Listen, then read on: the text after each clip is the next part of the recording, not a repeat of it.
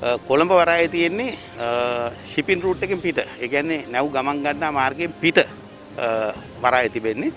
නැව් ගමන් ගන්නා මාර්ගයේ තියෙනවා හම්බන්තොට වරාය උදාහරණයක් හැටියට. හැබැයි හම්බන්තොට වරාය තිබුණාට නැව් නවත්තන්නේ නැහැ. එහෙනම් නැව් නවත්තන්න පුළුවන් වරායක් ශිපින් රූට් එකෙන් පිට කොළඹ වරායට නැව් වෙනවා. එතකොට අපිට ලෝකෙත් එක්ක තරම් කරන්න තිබෙනවා කොහොමද නැව් නවත්තන වරායක් බවට පරිවර්තනය කරගන්න කියලා. ඒ නිසා තමයි අපි බැලුවේ නැව් නවත්තන වරායක් බවට හම්බන්තොට වරාය පත් කරන්න. අද එතන නැව් නවත්තලා වාහනයක් වාහන එතන බාලා ඒව නැවත කොළඹට ගෙනාවම ඔබ වාහනයක් ගන්න ගියොත් තව රුපියල් 25000 50000ක් වැඩියෙන් ඔබ ගෙවන්න ඕන.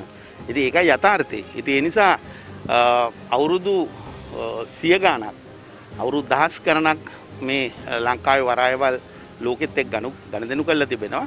විවිධ දියුණු තත්ත්වයන් සහ නොදියුණු තත්ත්වයන් උඩ ඒ නිසා මම හිතනවා ඒ ගැන අපි ජාත්‍යන්තර වශයෙන් උත් දේශීය වශයෙන් උත් කල්පනා කරලා වැඩ කරන්න තිබෙනවා. විශේෂයෙන් මහජනයක් යමක් කියනවා නම් ඒකට අහුම්කන් දී යුතු තිබෙනවා. Breaking.lk